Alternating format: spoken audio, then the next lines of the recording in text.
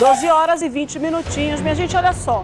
A gente normalmente recebe denúncia aqui no programa da comunidade de gente que está sem o fornecimento de água nas torneiras.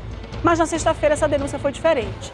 Um morador do conjunto Oswaldo Montenegro ligou para a gente reclamando que, aliás, eram moradores da rua Gilberto Mestrinho, lá do conjunto Oswaldo Montenegro. Um morador ligou para a gente reclamando que tinha um cano quebrado há mais de três dias. O que incomodou um morador lá do Tancredo Neves, a Ingrid está me corrigindo agora, lá do Tancredo Neves, o que incomodou foi o desperdício de água que já estava há pelo menos três dias. Foi denúncia da comunidade da sexta-feira de manhã, na hora do programa, que a gente recebeu por telefone e a nossa equipe foi lá fazer a matéria. Vamos dar uma olhada. Quem olha a primeira vez confunde o cano quebrado com uma nascente. O Otoniel disse que há três dias uma equipe da Manaus Ambiental veio até a rua fazer a ligação do mesmo cano até uma casa e o serviço não foi concluído.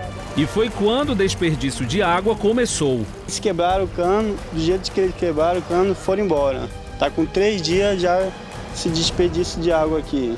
Nós liga para lá, eles afirmam que não tem equipe, não tem carro para vir consertar. E às vezes, outras vezes que nós liga, eles dão um prazo de 72 horas para consertar.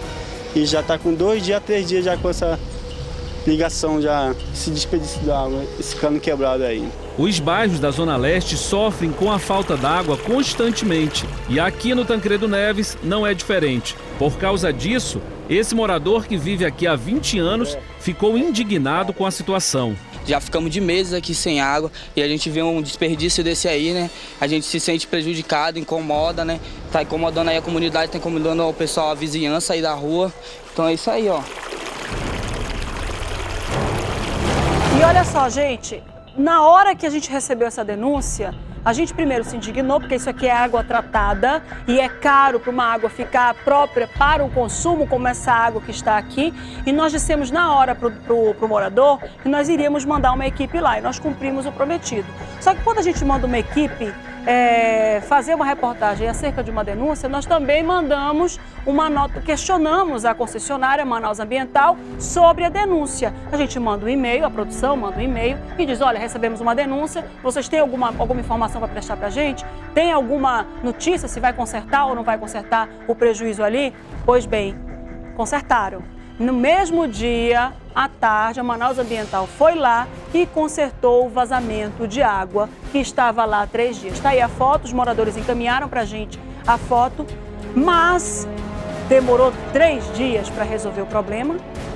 E eles foram consertar dentro do prazo que foi dado realmente para o morador, que era de 72 horas.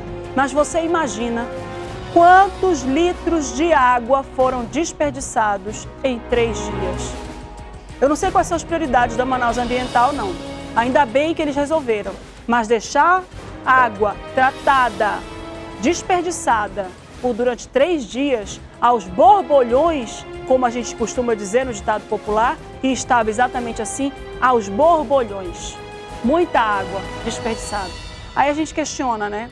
Será que eles só foram lá arrumar rápido porque a gente pediu, porque o, o morador ligou para cá e fez a denúncia aqui no ar, ao vivo, no programa. Não sei. Mas independente de, de se foram ou não consertar, e graças a Deus que foram, demoraram muito. Eu acho que tem que ser, eu penso que tem que ser prioridade. Se, a, se o meu produto, eu trabalho com produto, eu trabalho com petróleo. E água é como se fosse petróleo, viu, minha gente? Porque tem valor. Sem isso a gente não vive. Eu trabalho com petróleo. E meu petróleo está lá jorrando e estragando todo. Eu não vou tomar providência para fechar, para desligar, enfim, né? Mas tá aí, foi consertado, ainda bem. 12 horas e 24 minutos, você aqui do outro lado acompanhando o programa da comunidade. Vamos falar de saúde agora? Tá no ar o quadro Saúde Nota 10. Saúde Nota 10. Oferecimento. Vic Vaporub. Alívio da tosse, congestão nasal e mal-estar em 5 minutos. E hoje no quadro a gente vai ter o Bruno Fonseca falando ao vivo sobre os cuidados que a gente tem que ter em casa para não trazer prejuízos à saúde. Oi, Bruninho, boa tarde. Muito boa tarde, Márcia. Boa tarde a você que nos assiste por toda Manaus, aqui pelo programa da comunidade. Pois é, né, Márcia? Um problema aí que muitas donas de casa costumam ter é aquela dorzinha na coluna. E às vezes elas não sabem o motivo. Hoje nós vamos falar sobre a reabilitação postural. Hoje a gente veio até aqui no conjunto Boas Novas, na casa da Euciane, Euciana Lobato, jornalista. Tudo bom, Euciana? Obrigado por nos receber. Eu que agradeço a presença de vocês aqui. E a gente vai falar sobre esse assunto com o fisioterapeuta Dr. Tiago Matos. Seja bem-vindo. Obrigado, muito obrigado. Então, a gente vai mostrar aqui com o doutor, para falar sobre esse assunto, as atividades que a dona de casa costuma fazer. Vamos até lá, a gente combinou aqui pra gente falar. A, a gente vai ver agora essa, a jornalista Euciana lavando a louça aqui, tá certo? É, essa maneira aí que ela tá, tá lavando, doutor? É, na verdade, ó, ela tá muito inclinada com o corpo para frente e o ideal era que tivesse um pouquinho mais alto a pia para ela não precisar inclinar tanto e a distribuição de peso nos pés, o ideal era que ela tivesse um banquinho, que ela pudesse alternar as pernas, né? Coloca primeiro o lado direito, deixa um tempo, depois troca, bota o lado esquerdo para fazer uma distribuição de peso igual para as duas pernas, porque desse jeito ela não consegue distribuir bem e aí ela sobrecarrega a coluna dessa. Sobrecarrega a coluna e pode causar grande dano. É, ela pode causar a longo prazo uma hérnia de disco, ela pode ter um espasmo muscular, ela pode sentir dor. Fazendo isso agora, por exemplo, ela lavando louça, quando termina, ela não consegue voltar porque travou a coluna, um espasmo muscular pela má postura, pelo tempo de permanência. Porque você lava a louça, você não lava um copo só, você lava várias panelas, vários pratos, vários talheres. Então isso demanda tempo. O que ela poderia colocar dentro de casa para resolver esse problema? Um banquinho? Um banquinho pequeno ali nos pés e ela podia aumentar, é, subir um pouquinho mais a altura da, da pia, né? Porque o, o cotovelo dela tem que estar sempre em 90 graus e o o ideal é que ela não incline o corpo para frente para fazer isso.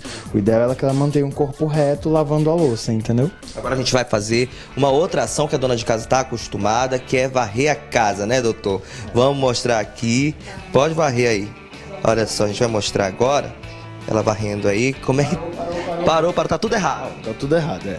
O ideal, ela até voltou um pouquinho, mas você notou que ela tava bem inclinada. E aí, quanto maior a inclinação, maior a compensação na coluna, né? Ela tem que dobrar um pouquinho mais o joelho e tem que travar a barriga, encolhendo a barriga e deixar o corpo um pouquinho mais reto. Porque, ó, é. O, isso. Claro que assim você tem isso, o correto é que ela esteja um pouco mais reta para varrer e ela não consegue pegar um campo muito grande varrendo, né? Demanda um pouco mais de tempo, mas tem um cuidado maior com a coluna, né? Agora a gente vai mostrar. A gente tá vendo aqui. Ah, pode falar. Só desculpa, sem querer interromper. Vamos. Varre para mim essa parte mais embaixo, por favor. Tá errado, completamente errado, ó. Ela tá jogando o peso todo pra coluna dela e tá sobrecarregando. Ela pode travar fazendo esse movimento, na verdade. E ela pode sentir uma dor absurda. O ideal é que ela agache. Você pode agachar para mim, por favor? Isso. E puxe a poeira de baixo da onde ela tem que varrer, ó. Dessa forma a coluna dela tá muito mais confortável e ela tá jogando o peso para um músculo muito maior que é o quadríceps, né? Quando ela tiver que levantar, ela vai ter força para um músculo muito maior do que um músculo menor, que é o, o, quadrado lombar, que é um músculo bem pequeno. Agora a gente vai ver aí, ó, a Patrícia, que é a filha da Euciana. Vamos mostrar aí, baixinho, ela tá atrás de ti aí, ó. Olha só, tá aí, ó. Ela tá nesse momento usando o WhatsApp, né? Tá aí falando. Eu queria saber se está certo essa postura. Então, é, esse sofá, ele é um pouco largo, né? Ele é confortável, mas ele é um pouco largo ela teria que estar tá com um travesseiro nas costas, trazendo ela um pouco mais para frente, e a inclinação da cabeça dela está muito grande. Então, é, a cabeça dela deve pesar em torno de 5 quilos. Nessa inclinação, de mais ou menos uns 15 graus, deve estar tá pesando por volta de uns 12 quilos. Imagina 12 quilos por meia hora.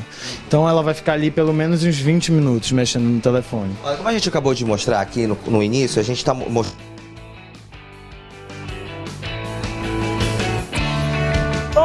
Vida! Eu tava vendo ele falando da vassoura e eu sentindo a minha dor aqui. Aí tem umas menininhas lá da Suzão, um grande beijo para as meninas que deixam os setores organizados para a gente lá na Suzão. Colocaram um cano PVC na vassoura para poder deixar a vassoura mais alta, para justamente elas não terem que fazer esse movimento de varrer e ficar um pouquinho inclinada. Quer dizer, a gente vai dando um jeito, viu, para poder defender a coluna da gente. Voltou, vamos voltar a conversar com o Bruno Fonseca. Vai, Bruno, pode falar. Ora, tá aí, né? A gente viu, aí tivemos um probleminha técnico, mas como a gente mostrou no início aqui da nossa entrada, a, a dona de casa fazendo, varrendo, é, lavando a louça, são, são, é a rotina da dona de casa, né? E isso pode causar danos fazendo da maneira errada. Como a gente acabou de mostrar aqui também, a filha da, da dona de casa, a Patrícia, ela tá aí no WhatsApp, sentada nesse sofá. Ela tá certa ou tá errada nesse momento? Agora ela tá melhor, né? O travesseiro nas costas. Ela pode até trazer o celular um pouco mais pra frente. Isso, e fica na direção da visão dela, tá vendo? Então assim ela diminui a compensação na cervical, ela apoia melhor a coluna e ela consegue passar um maior período de tempo. Só tem que levar em consideração que ela tá com a perna cruzada. E as pessoas costumam cruzar apenas um dos lados das- da, da perna. Então o ideal era que ela descruzasse a perna se ela for ficar um longo período de tempo, ou cruze o outro lado a cada 15 minutos, mais ou menos. Ah, passei um tempinho agora, vou descruzar, vou cruzar o outro lado. E, Entendeu? a- e as pessoas também costumam deitar no sofá, né, doutor? Isso, deitar pra assistir televisão, ou às vezes chegam do trabalho cansado e já deita no sofá. Então, o cuida tem que ter cuidado não só pra deitar, como pra levantar também e pra saber se a maneira que você tá deitado tá certo, né? Agora, só pra gente finalizar, a gente vai mostrar mais uma ação. Vamos lá, Patrícia, lá pro teu computador. Quem não fica no quarto, no computador, escutando aquela música, vamos entrar aqui, ó. Só que é daquele jeito, né? Daquele jeito confortável, daquele jeito relaxado, né, doutor? Fala um pouquinho pra gente. Tá errado aqui. Tá errado. Ela tá muito baixa, o computador. é, olha a altura do, do, do teclado para a altura que ela tá. O ideal era que essa cadeira tivesse um pouco mais alta. E o mouse tá mal posicionado também. Pega no mouse para mim, por favor. Olha só como tá o braço dela. Ela tá, é como se ela estivesse fazendo uma, uma. sustentando o braço a 90 graus durante um longo período de tempo.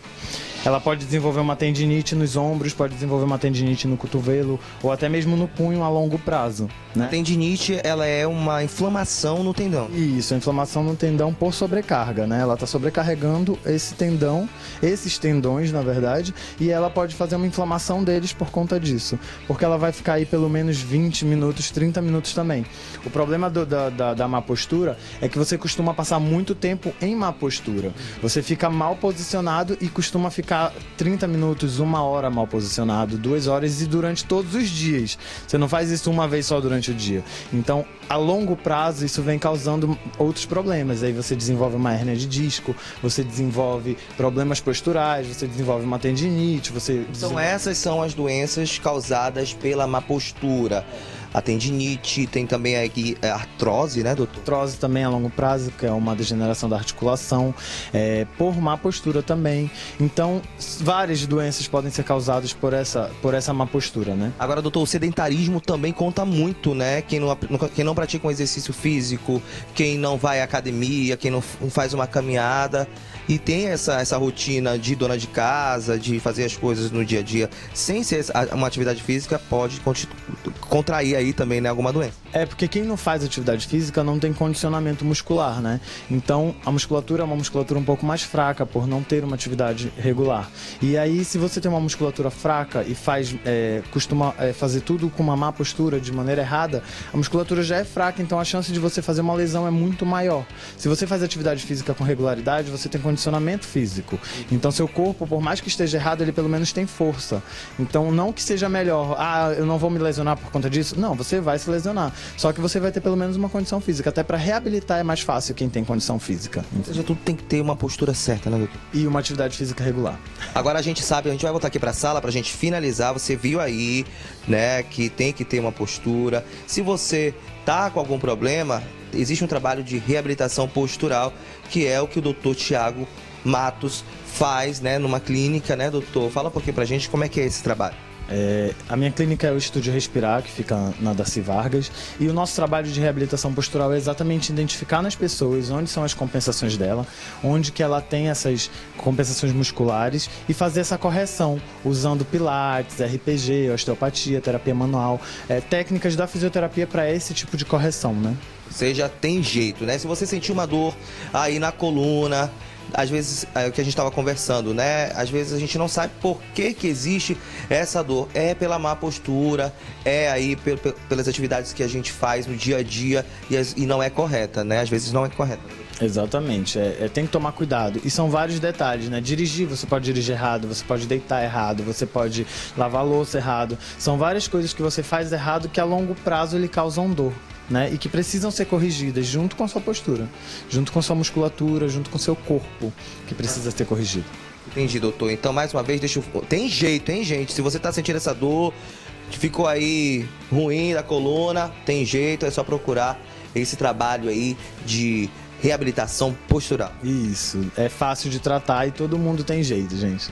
muito obrigado, viu, doutor? Obrigado pelo convite. Tá certo, muito obrigado também por você nos receber na sua casa. Viu? Agora, agora que o doutor já deu as dicas, né, a gente vai procurar seguir aí para ver se melhora mais a postura, né? Nada de fazer coisa errada. Não, agora não. Nada de fazer aí os exercícios de casa errado, viu? Muito obrigado mais uma vez. Obrigado, Patrícia. A Patrícia só vive no WhatsApp aqui. Tá, tá mandando para todo mundo que tá no programa.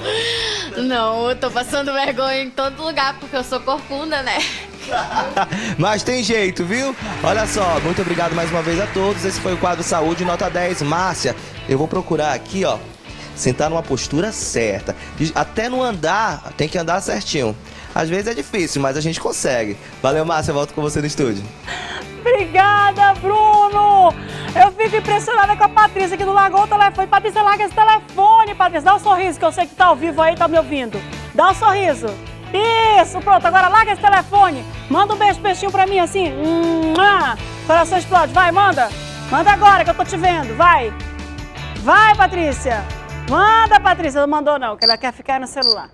12h36, manda um beijo, peixinho pra mim. Vai, isso, tá bom. Isso, tá ótimo.